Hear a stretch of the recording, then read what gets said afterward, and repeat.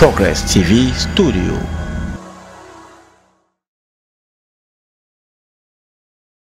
Hi, welcome to another session.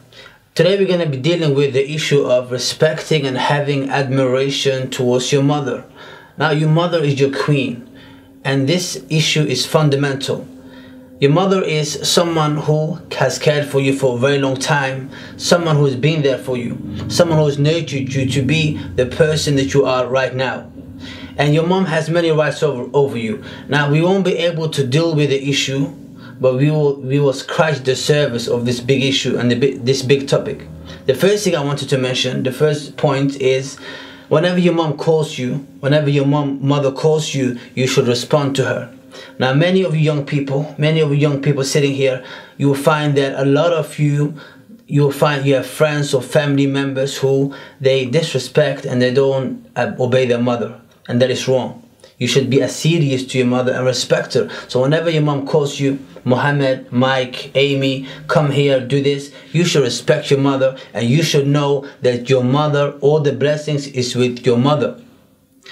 Your mother should, you should look at your mother as your queen. When we, when the queen of the UK, the queen of Australia, when they come, and when she comes, we make the way easy for her. And we give her a lot of respect and admiration. And you should you should have the same respect and admiration for your mother. Another thing is you should know that your mom has been there for you when you were small. She had a lot of sleepless nights. She had a lot of sleepless nights. When you were sick she was waiting for you in the hospital for so many hours sometimes until the early mornings. And when you were crying she is to be there for you so you should always, always help your mother. Some of you, to this very day, 21, 22, your mother, she does your bed sheets, your duvets, so forth and so on. She has care, cared for you for so many years. And now is the time for you to recognize the tremendous work that your mom has done and you should be on her side. The third thing we want to mention today is your mom should have your help and your assistance wherever possible.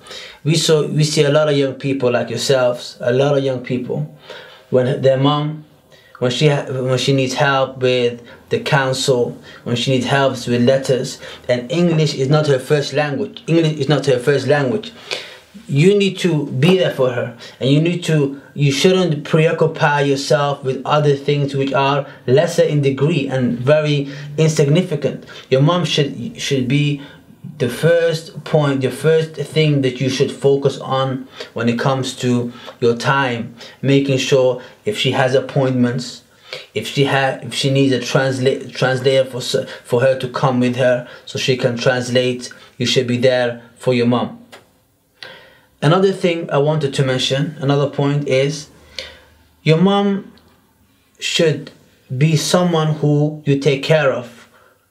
You should buy her gifts, present, presents. You should take care of her friends.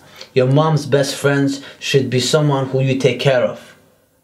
Someone that you respect. The things that your mom has done when you were young, all the things that she's done when you were young, when you were a kid, when you were growing up, those those experiences you can instill them install them into your children and nurture them into the right way. Every mom, every mother wants her child to be the best. She wants her child to be the best in school, the best in university, the best in life. And so and, and as a result of that, you should recognize that your mom has been there for you and supported you when you were sitting your examinations, your GCSEs, your A levels, when you were in, university, doing your degree, your master's degree. She was your advisor.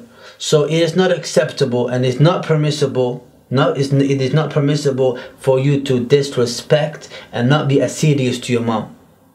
Your mom calls you, you say, I can't do this, can't do this. I'm too busy. That is not acceptable. And the reason why this is not acceptable is what we what we mentioned before. She's been there for you for so many years. She has nurtured you. She has showed you the manners, the etiquettes, and how to live how to live life the right way. Your mom has told you not to commit crime. She has told you to stay away from those people, from those friends that are a hazard to you. Those friends and those acquaintances that you have that would cause you to do things which are unacceptable. So take care of your mom. Make sure that she is your number one priority and always call her queen by her presence. That is the reminder that I want to put forth for you today. And remember that next time when we deal with another issue, this issue that we're dealing with today should be the of of of, of, of paramount importance to everyone. Until next time, see you later. Progress TV Studio.